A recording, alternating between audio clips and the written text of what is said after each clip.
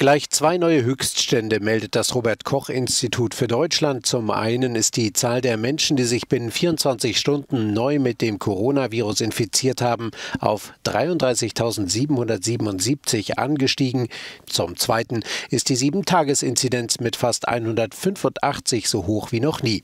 Die Bundesregierung will die Inzidenz auf 50 senken.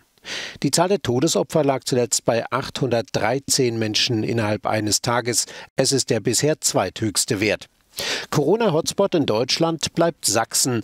Acht der zehn am stärksten betroffenen deutschen Landkreise liegen in dem Bundesland.